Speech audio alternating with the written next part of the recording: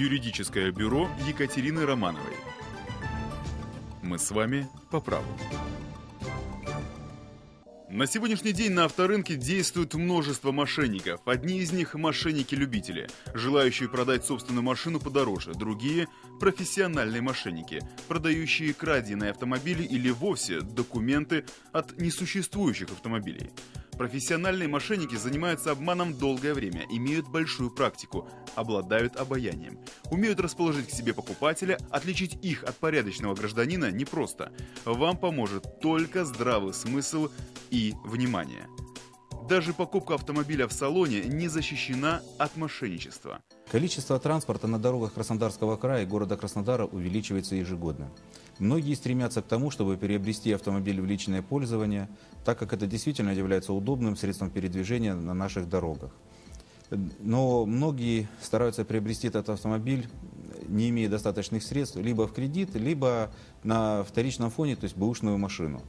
С этим связаны определенные риски. Причем эти риски возникают в основном при покупке автомобиля на вторичном рынке, так как здесь можно именно э, применить определенные схемы для мошеннических действий. Например, при покупке автомобиля по доверенности возникают определенные риски. Могут возникнуть потом претензии со стороны именно собственника автомобиля, что он, он не давал э, права на, на, на продажу автомобиля, данного автомобиля. Либо не получил денег после продажи автомобиля. Представитель их присвоил себе. Вы попадаете в ситуацию, когда к вам может предъявить собственник требования о возврате этого автомобиля. Мы настоятельно рекомендуем заключать договора купли-продажи. Не обязательно их заключать в нотариально заверенной форме. Можно заключить в обычной письменной форме, написав его от руки. Можно написать просто расписку в получении денег, где вы можете обозначить автомобиль, какую сумму вы заплатили, поставить подписи как продавца, так и покупателя. Также я хотел бы обратить ваше внимание на то, что э, когда вы заключаете договор купли-продажи, либо выдаете расписку, обязательно указывайте настоящую стоимость автомобиля.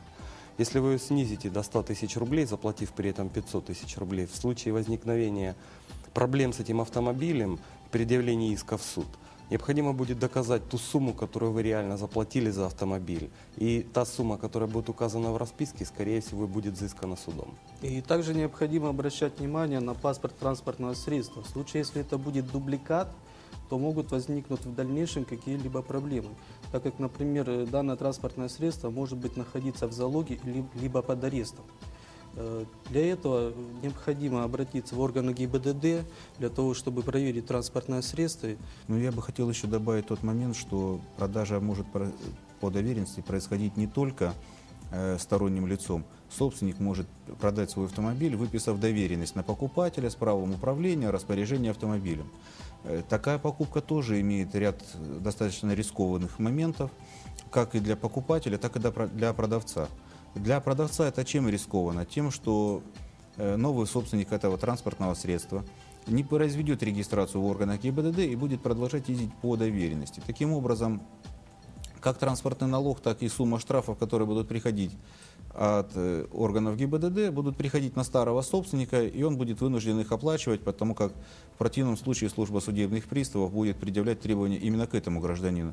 И он вынужден будет доказывать свою невиновность и то, что он автомобиль уже передал кому-то другому. Это один момент и риск с одной стороны. Для лица, которое приобретает автомобиль по такой доверенности, существуют другие риски, и я бы сказал, они даже более весомые, чем для продавца. Почему? Потому что продавец автомобиля, э, отдав по, доверенности распоряжение автомобилем, он может являться должником перед кем-то, перед банком, перед другими организациями. Он может быть являться должником по причинению какого-то вреда третьим лицам. В результате этих правоотношений на данный автомобиль этого владельца, ну, продавца, может быть наложен арест судом. И в таком случае новый собственник может лишиться своего автомобиля, за долги продавца и остаться как без денег, так и без автомобиля. С октября 2013 года внесены существенные изменения в регламент регистрации э, транспортных средств. А, так, э, транспортное средство можно зарегистрировать в любом э, субъекте Российской Федерации. То есть не только по месту вашего жительства, но можно обратиться в любой регистрирующий орган. Ну да, с одной стороны, это вроде бы упрощает. Автомобиль можно продать, не снимая его с учета, с теми же номерами, которые есть. Это для продавца, с одной стороны, плюс. Он не заморачивается и не тратит время и деньги на то, чтобы поехать снять автомобиль с учета. Сокращает время покупки. Э, Но при всем при этом у покупателя э, существует риск того, что этот автомобиль может числиться в угоне. Потому что когда человек приезжает в органы ГИБДД ставить автомобиль на учет или снимать, э, органы ГИБДД проверяют его по базе угнанных автомобилей и постановка либо снятие, осуществление регистрационных действий с этим автомобилем свидетельствует о том, что данный автомобиль не является в угоне, что уже хоть какую-то гарантию дает покупателю на то, что он может в дальнейшем пользоваться этим автомобилем. Что я еще хочу сюда добавить? Если вы купили автомобиль, который заведомо произведен за границей Российской Федерации, я вам настоятельно рекомендую воспользоваться возможностью обратиться в специальное подразделение Федеральной таможенной службы с просьбой предоставить информацию о том, были ли уплачены таможенные платежи лицом, которое перемещало транспортное средство через таможенную границу. В случае же, если окажется, что такие таможенные платежи не были уплачены, а, таможенная служба при установлении данного факта а, принимает меры, которые воспрепятствуют в последующем установить это транспортное средство на учет в ГИБДД и а, выдаче свидетельства о регистрации и исключению возможности передвижения по нашим дорогам. Итак, подводя краткие итоги, можно рекомендовать гражданам, приобретая автомобиль на вторичном рынке, необходимо внимательно изучить имеющиеся документы. Обратить внимание на паспорт технического средства. Является это оригинальный документ или же это дубликат?